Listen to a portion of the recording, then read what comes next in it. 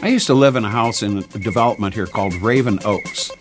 And it truly was. My house was like right up in the trees. And so, being right up in the trees, sometimes you did have critters that came in the house at night. And one time I heard this. It was a cricket trapped under a wicker plant stand. And I thought, you know, this little guy is so rhythmically accurate. I ran downstairs and grabbed a bunch of mic cable and ran the mic all the way from my studio three floors down, all the way up to get this wicker plant stand with the cricket. So, in the record itself, when you hear the cricket, that is a real cricket. It was not manufactured. We did not edit it to make it really rhythmically even. And I played the drums. We, I put everything down on a synthesizer against the cricket, which was my crick track.